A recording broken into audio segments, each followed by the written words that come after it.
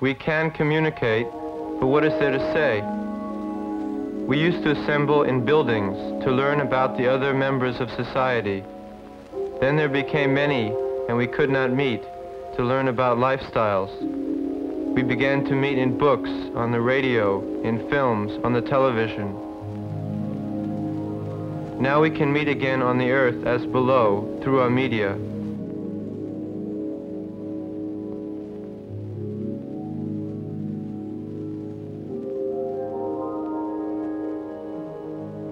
We can meet metaphysically through the use of this screen.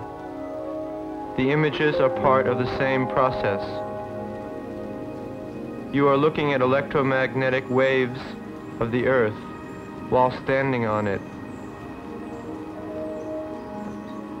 Haven't we met before?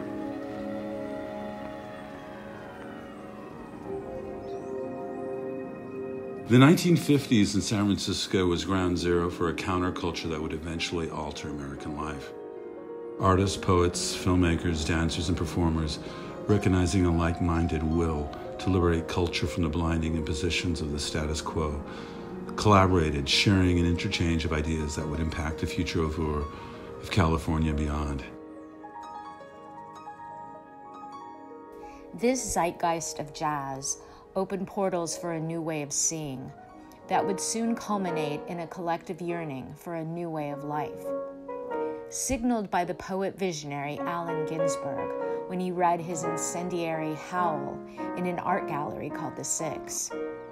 The gallery was run by a collective of artists who, along with the poets who read that night, Michael McClure, Philip Lamantia, Philip Whalen, and Gary Snyder, saw themselves subsumed in what soon became known as the Beat Era canon.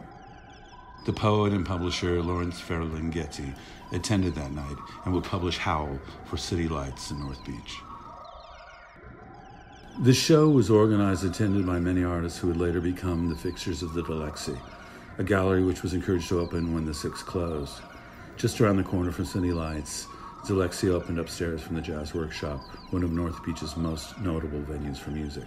Dilexi, meaning to covet and to love, would have a constant soundtrack of some of the Bay Area's most notable musicians.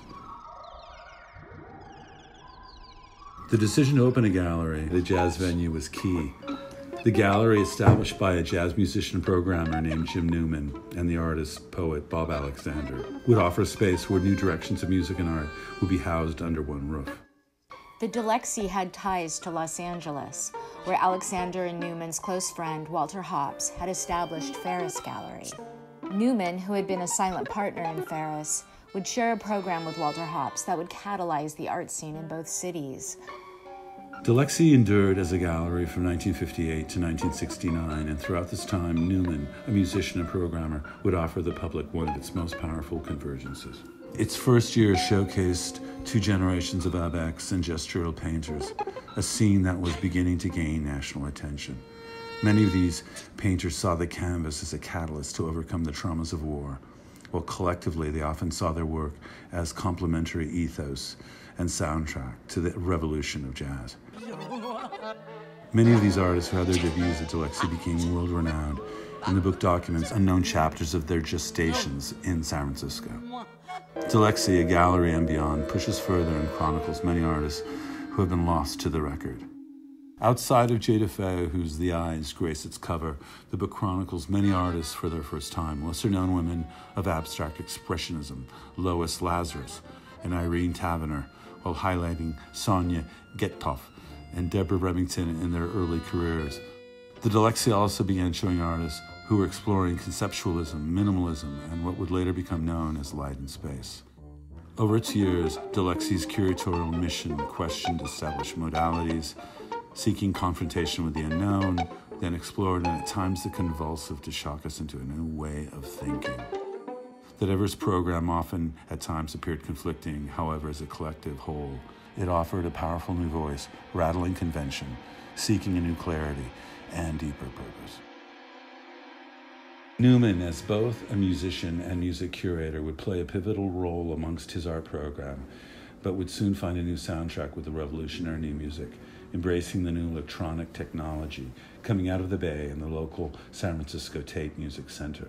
San Francisco at this time was an epicenter of interdisciplinary cross pollination, largely ushered by the dance practitioner Anna Halprin and her dancers workshop, who shared space and collaborated with the composers of the SFTMC, as well as the Actors Workshop and the experimental Canyon Cinema, offering an environment of cross pollination that Newman exported into the gallery. In 1965, the artist Charles Ross, who had been working with Halprin and the San Francisco Tape Music Center's founder composer Morton Subotnick, presented a collaboration with the Dancers Workshop at Dilexi. The enduring Dilexi story portrays the importance of the real time experience of art within the gallery setting, presenting how this intimate encounter may collectively congeal a new way of seeing and distilling a philosophy for a new way of life.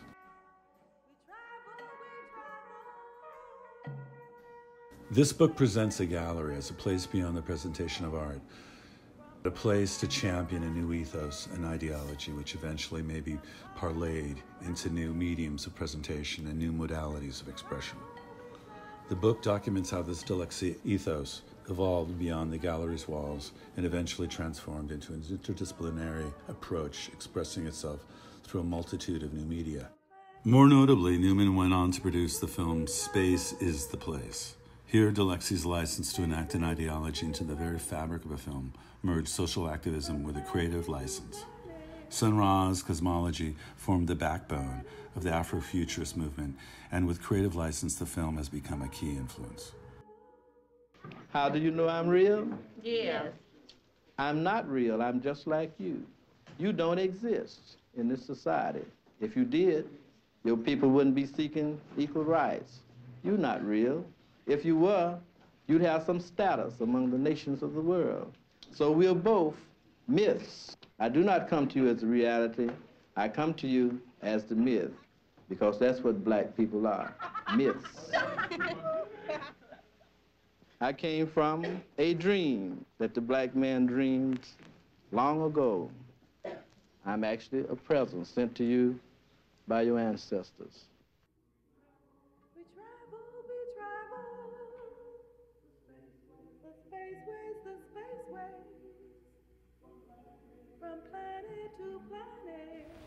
Television has been uninteresting because we were not using it to get through the screen to anything.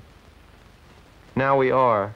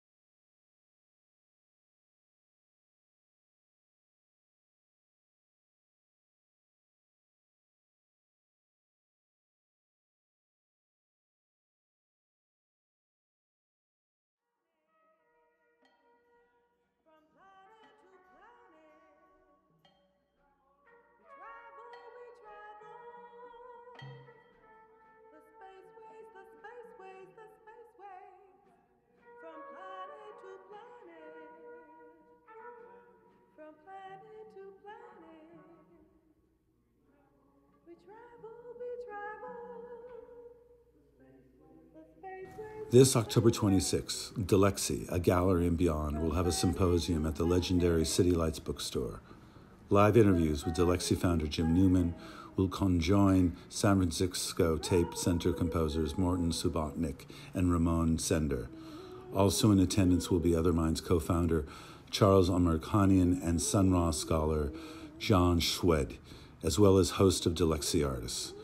The Dilexi author Laura Whitcomb will be in attendance as well as Narian Dickerson with the Dilexi Research Director, hosted by the Director of City Lights, Peter Maravelis, will further explore this little known history.